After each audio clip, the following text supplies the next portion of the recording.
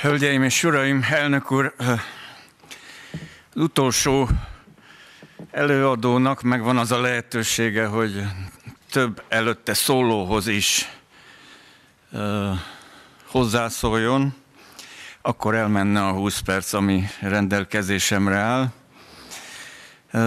Én szintén Prágáról, szintén Magyarországról szeretnék beszélni. Azzal szerettem volna kezdeni, hogy egészen kifinomult ez a Közép-Európa már, mert a ma délutánon a te felszólalásodig egyszer nem hangzott el, hogy magyar csapatok lépték át a határt Csehszlovákiába 1968. augusztus 21-én. Valahogy ez nem került elő, de végül is mégis a beat zenészek kapcsán ezekkel mindig baj van, mert mindig mennek valahova, fel akarnak lépni, ö, zajt akarnak csapni, stb. Egyébként 1968 csatlakozom azzal is, hogy Karel Gott világ számának és a megszületése, amit Korda György is énekelt, hogy a Lady Carnival, ez biztos, hogy mindenkinek megvan a társaságban. Tehát ez az az időszak, amelyhez el kell jutnom előadásom során.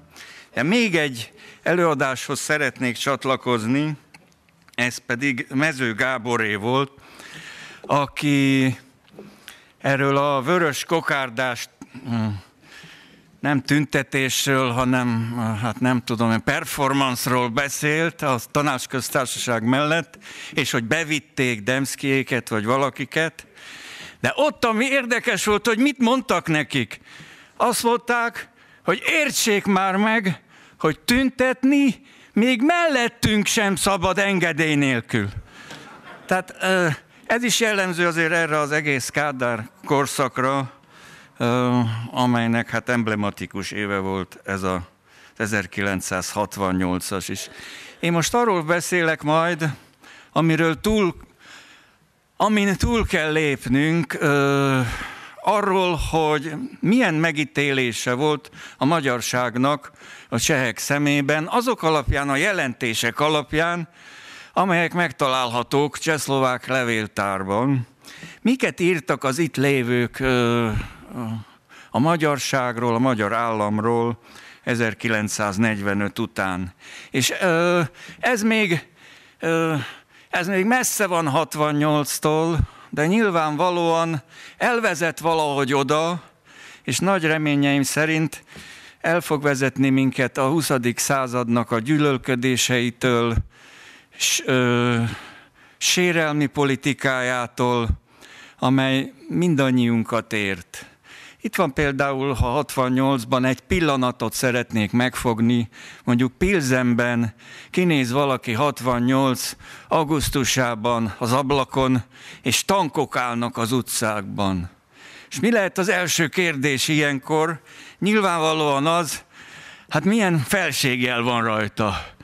Ugye hát lehet amerikai, jártak már ott amerikaiak, lehet csehszlovák, hiszen csehszlovák is valamikor megjelent ott, lehet, mi lehet még német, németek is jártak ott, aztán hát lehet még Szovjet, hát szovjet volt, ugye ezt most már tudjuk 68-ban, ha nem várták ezt. De valaki kinézett mondjuk Komáromban, Ugyanígy augusztusban, Komáromban, ahol hát a, magyar, a lakosság nagy része, döntő része még akkor magyar volt, és mit lát? Tankok az utcán, de milyen tankok? És akkor megint végig gondolhatja, hogy mi, mi, milyen katonaság érkezett. Cseh? Cseh, szlovák? Vagy német? Vagy amerikai? Hát az ide sose ért. Ugye, tehát azt nem is nagyon várták. Vagy szovjet, vagy magyar. És ugye ez egy teljes tudathasadásos állapot, ez a 68, a nyugati része is, a, a közép-európai része is, hogy vajon hogy, hogy kavarog ez a kép az ottani emberben, hogy hát a magyar tankot nem nagyon látott, de 30 éve, 1938-ban magyar katonát látott, de azok inkább lovon jöttek, vagy biciklin. Ugye, hát ez az első bécsi döntés után volt. Tehát milyen kép alakul ki, és meg tudunk ettől szabadulni, mert ez a kép nem pozitív. Ennyit elárulhatok. Tehát az, amit sugalnak Prága, a, a prágai döntéshozók felé, és most nem is megyek vissza Trianonig, amely az egész közép-európai térség nagy tragédiája, amely a, amely a sérelmeket hozta elő, és nehéz tőlük szabadulni, de talán a 21. század, és ezt nagyon erősen hiszem, a 21. században ez sikerülni fog. Szóval néhány ö, sztereotípia, amelyek megmaradtak. Hát a virágzó hatalmas szláv birodalomba beékelődtek a magyarok. Tehát mi egy beékelődés vagyunk, egy ficam, aminek nem kéne itt lenni. A nagy morva birodalmat szétzúró barbárok. Szlovákokat ezer évig elnyomó feudális állam, ez sztereotípiák továbbra is. Aztán felhozzák ugye a 38-as, 39-es időszakot, hiszen ez volt Csehszlovákia trianonja. Kevesen tudnak erről, de most ha egy pillanatra prága, prágai szempontból nézzük, mondjuk a Csernin palotából, vagy a várból, vagy a várban lévő fekete ökörből, tehát mindegy, hogy onnan nézzük, tehát akkor Csehszlovákia hát 140 ezer négyzetkilométeres ország volt, ebből a 41 ezret elveszített, ugye, és utána pedig végképp meg is szállták, és az egész országot likvidálták. Szóval ez a kép is oda ragadt a magyarságról alkotott ö, ítéletről, amiben hát részt is vettünk. Bűnösnek nyilvánítják a magyarságot, önök ezt nagyon jól tudják. Miért? Azért, mert a saját népével akart együtt menni. Tehát ez, egy, ez a végkép a skizofrénia. A magyarok szövetkeztek Magyarországgal, micsoda bűn. Ugye tehát ez a helyzet áll elő, és ezen nagyon nehéz tovább lépni, az az igazság, de én úgy gondolom, hogy sikerülni fog. Hát ami nem sikerült, ugye, az 45-től az a teljes jogfosztás időszaka, ezt most nem kell részleteznem, tehát az állampolgárság megvonása, és mindaz, ami ezzel jár ami ezzel járt. Egészen 1948 végéig, 49-ig. Ez egy nagyon tragikus időszak a magyarság sorsában. Tényleg nincs idő részletezni, hogy mi történt ott. De néhány nagyon kedves jelentés, személyekről is jelentettek. Itt a, ebben a körben nyilván mond ez a név valamit, hogy Major Ákos. Major Ákosról azt írják, hogy mongoloid arctípusú harcos humanista. Tehát ebben mind a kettő nagyon aranyos, tehát ez a, hát ez a mi jövünk ugye a nyerekben, mongoloid arcvonásainkkal, kiálló pofacsontunkkal, és hát tönkre teszünk itt minden, de egyébként harcos humanista, ez a Major Ákos. Aztán még egyet, Veres Péter, az író, nem csak antiszemita, de gazdasági kérdésekben a náci demagógia híve.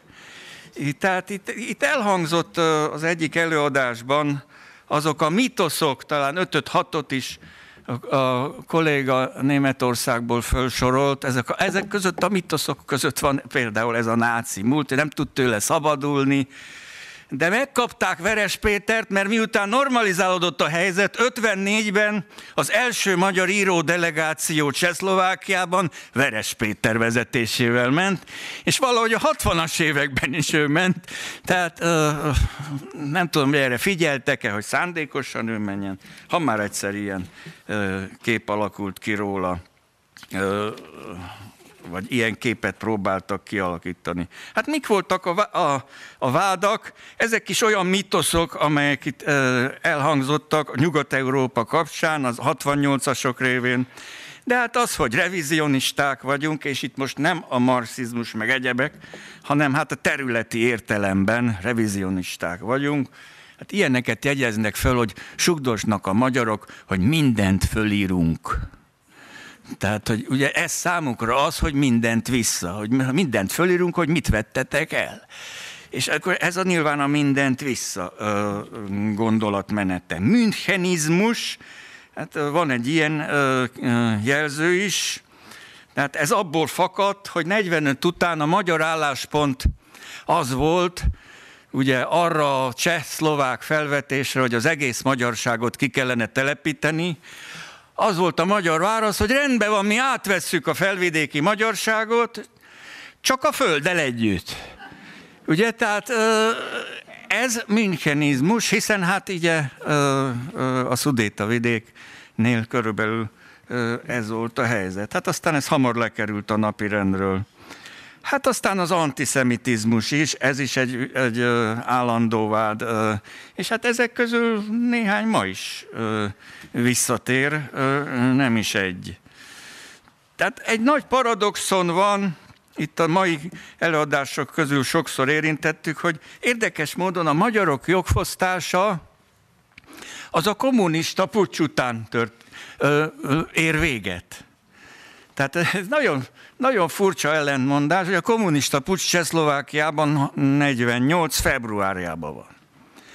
És 48 februárjában utána elkezdenek azon is dolgozni, hogy hát ez, ezt a teljes jogfosztást föl kell számolni, akkor már nem lehet kitelepíteni a magyarokat, Szudétavidékre sem lehet, hiszen ez már a Szovjetunió jóváhagyásával nem történhet meg, Lenini nemzetiségpolitika, stb. Tehát van egy ilyen ellentmondás, hogy, hogy tulajdonképpen a felvidéki magyarság köszönhet valamit annak, hogy Csehszlovákiában a kommunisták győztek. Visszakapják az állampolgárságot, intézményeiket, még iskolát is, hát addig a nyelvet sem használhatták. Stb. stb. És ez fontos lesz majd 56-ban és 68-ban is. 56-ban és 68-ban is, mert 56-ban, ha gyorsan eljutunk odáig, akkor érdekes módon Lengyelország mozdult, Lengyelországban is forradalom volt. Legfeljebb nem olyan erőteljes és nem olyan fegyverrel megvívott forradalom, de forradalmi hangulat volt, ugye Poznán és több más városban is. Tehát volt, lengyelek is mozogtak. Mi mindent elsőprő vétóval mozdultunk, de Csehszlovákiában kevéssé és még a magyar lakta területeken is kevéssé. Annak ellenére, hogy például ugye Erdélyben milyen megmozdulások voltak, és milyen retorziók voltak az erdélyi magyarság, a halálos büntetések és, és számüzetések, stb. Ez ugye itt nincs meg, nagy valószínűséggel összefüggésben azzal, amit 48-49-re mondtam. Viszont a csehszlovák fél, hát propagandával, fegyverrel és rádióadásokkal is segítette a magyar kommunistákat, és hát sajnos, hogy állította be a forradalmat? Hát úgy, mint egy fasiszta lázadást. Ehhez muníciót majd kiktől kap?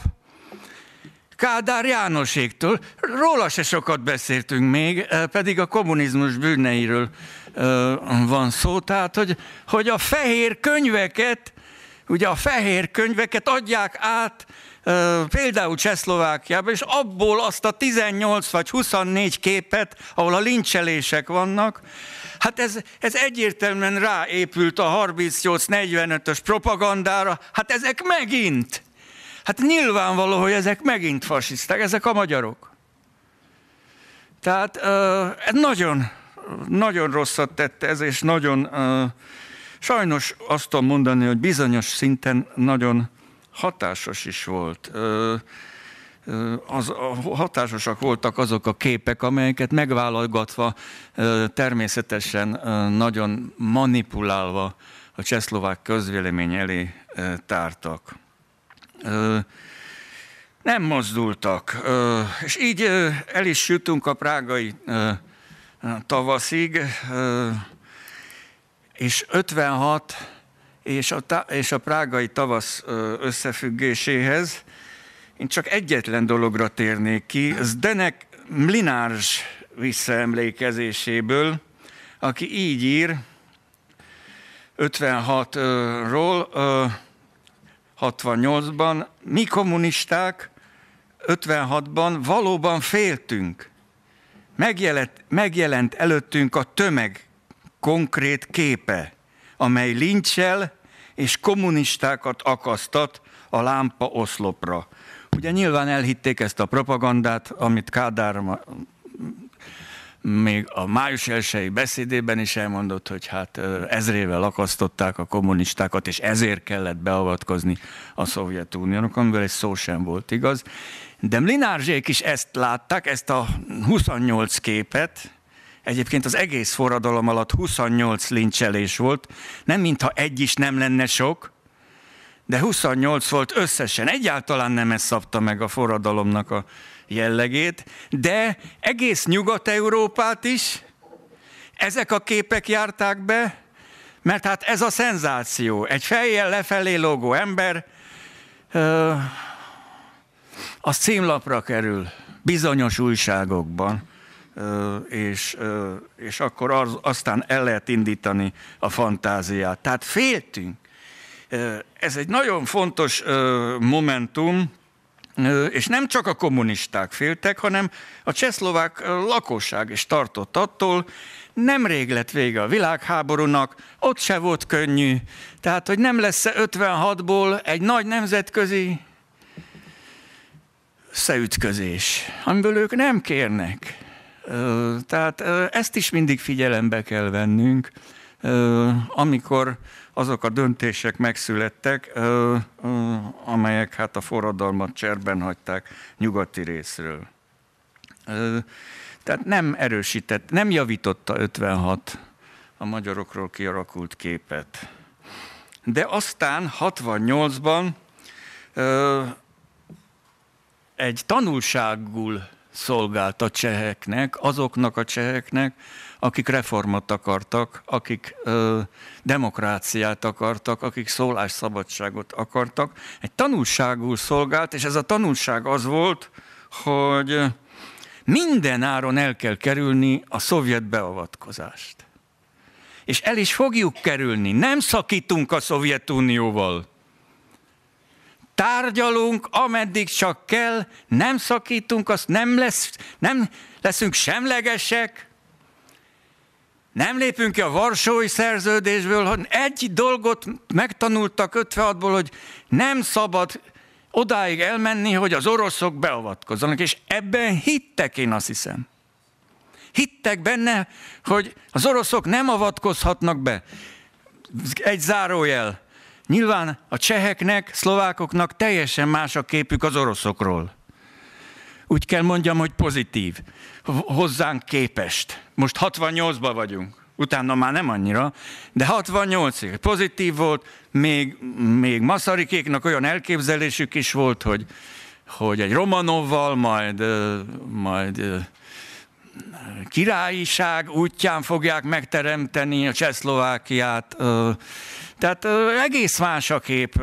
Én láttam egy huszák levelet 45-ből, amiben egy az egybe fölajánkozik, hogy Szlovákia legyen a Szovjetunió tagköztársasága. De visszautasították, valószínűleg Benes már ezt eleve elintézte 43-ban Sztálinnal, hogy, hogy ilyesmire ne nagyon gondoljanak. Ugye Huszák volt a szlovák kommunisták vezetője.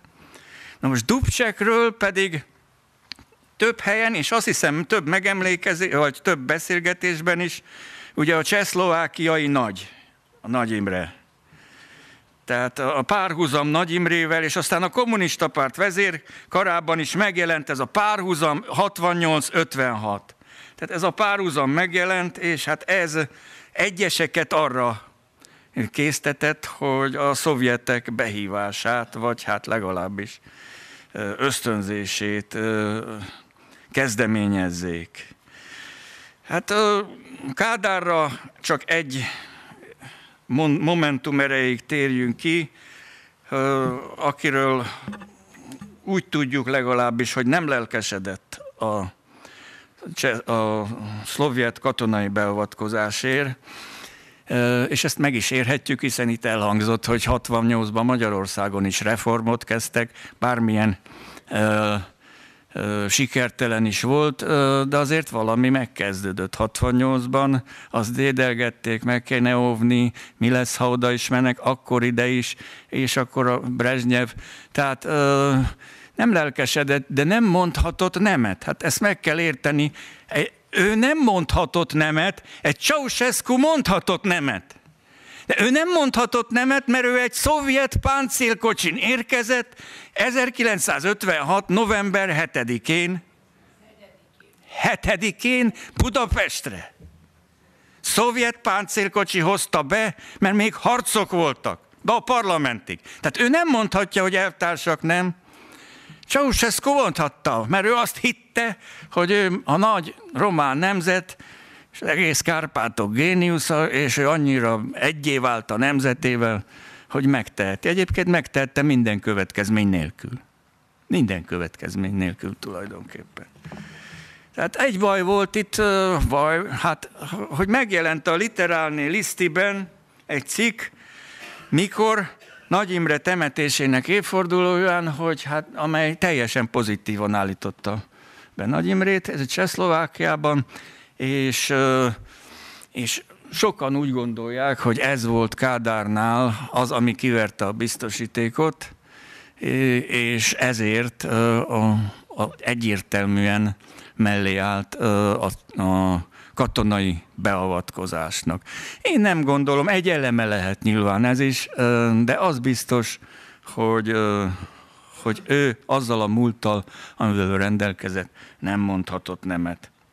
És így ebben az akcióban a cseh Csehszlovákia demokratizálási kísérletének az elfolytásában sajnos teljesen értelmetlenül, teljesen ellentétesen a magyar nemzeti érdekekkel, teljesen ellentétesen a közép-európa érdekekkel Magyarország is részt vett.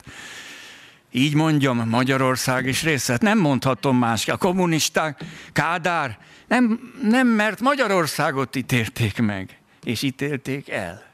Mindannyiunkat. Tehát, és ettől is nehéz szabadulni, nyilvánvalóan. Úgyhogy ö, ö,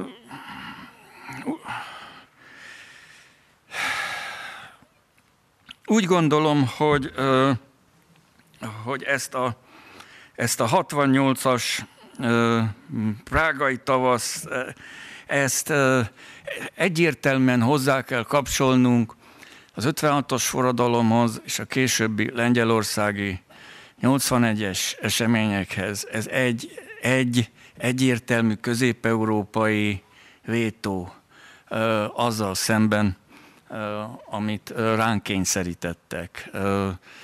Ez egy nagyon jól kitapintható együttműködés, és erre van, ép, van lehetőség építeni, csak ezeket a fals képeket, sztereotípiákat kellene mindenképpen meghaladnunk. Nyilván valaki elmondhatja azt is máskor, más alkalommal, hogy bennünk milyen kép él, mondjuk a szlovákokról, vagy a románokról, vagy a csehekről, stb. De azt gondolom nem ennyire, nem ennyire elítélő. Tehát ezen változtatni kell. Hát végül befejezésképpen még arra kitérek, hogy nem tudom, van-e itt a teremben valaki, de én az 1968-as magyar katonai beavatkozás következtében megsebesültem. Tehát én ennek az akciónak a személyes kárvallottja vagyok. Elmondom, hogyan. Szüleim ott dolgoztak Prágában, 68-ban is, én nyolc éves voltam, nem tudtam semmit az egészről. Voltak olyan körültekintőek, hogy beirattak cseh iskolába. Hát rendben van, egy szót sem tudtam csehül, nyilvánvalóan az egész történetről nem tudtam semmit, de egyszer arra lettem figyelmes, hogy körülvesznek a fiatalok. Nem gond, megszoktam, mm, Kőbányán jártam a Maglódi úti általános iskolába, tehát azért nem voltam teljesen ö, védtelen, ö, de valami egész fura dolog történt. Ö, hátulról egy lány, akit nem vártam, még szőke is volt, meglökött, ö, elestem, bele a radiátorba, betörött a fejem, sebesültje vagyok a 68-as ö, magyar beavatkozásnak, evakuálták a társaságot, engem is evakuálták, mert a történetnek nincs vége. Anyám otthon hagyta az egész élelmiszercsomagot, akkor busszal lehetett közlekedni, vonat nem járt. Legalább 12 óra volt,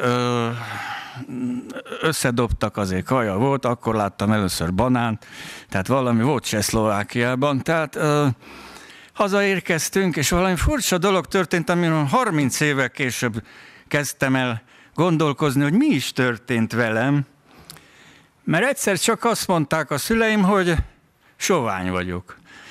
Addig sosem mondtam, hogy sovány, igen, sovány vagyok. Hát el kéne menned egy, egy távoli, bentlakásos iskolába egész a határhoz, a jugoszláv határhoz, ott, ott fogsz tanulni, ott bent lakás, ott is leszel, majd, majd jövünk érted. Hát gond, jó, hát mondom, sovány vagyok. E, ebben a hitben éltem néhány évtizedig, hogy aztán elkezdtem gondolkozni, hogy nem volt-e másról is szó, hogy nehogy eljárjon a szám, hogy ott mi történt, mit láttam, velem mi történt, hogy sebesült vagyok. Tehát ilyen Ilyen dolgokban is tovább él a történelem, a nagy történelem, a forradalmak, a reformok, a nagy gondolatok, ilyen apró dologban is visszatér, és, és bennünk él. Úgyhogy amikor visszatérhettem, akkor már értelmesebben nem cseh iskolába irattak, bár gondolom akkor már egy kicsit a helyzet normalizálódott, de hát orosz iskolába irattak. Na most ez, ez se volt az igazi, ugye, mert azért 1849-ről hallottam, két világháborúról is hallottam, és 56-ról is hallottam, és az én orosz képem annyira nem volt pozitív, tehát rögtön a lengyelekkel, és egy mongol sráccal meg is alakítottuk a mi galerinket, ugye galerikről is szó volt, tehát meg is alakítottuk, és, és négy éven át ö, küzdöttünk a szabadságért, de demokráciáért, forradalomért és nem reformokért. Köszönöm szépen a figyelmet!